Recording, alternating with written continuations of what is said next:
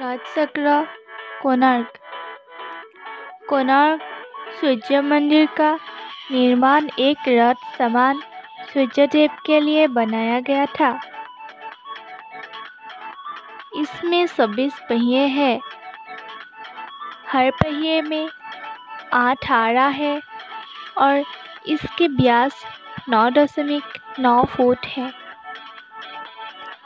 पूरे पहिए उत्कृष्ट शिला कलाओं से भरपूर है।